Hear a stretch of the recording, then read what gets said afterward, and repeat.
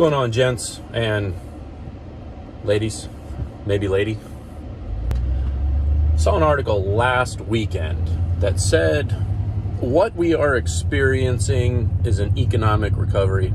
Now, at my place um, that I help out with, I don't have enough workers. I've got real good customer demand. Uh, people seem to go along with purchases.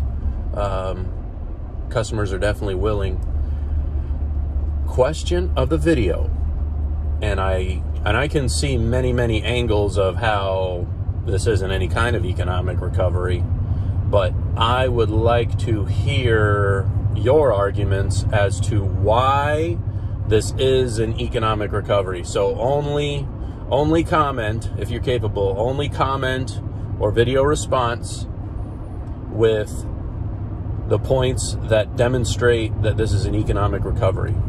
I will start. Uh, I saw a article about it's low personal debt.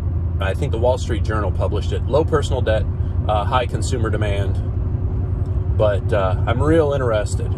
Frankly, I don't see it, and I definitely see the other end of it. So holler back at me if you guys have the chance, and uh, more videos to come.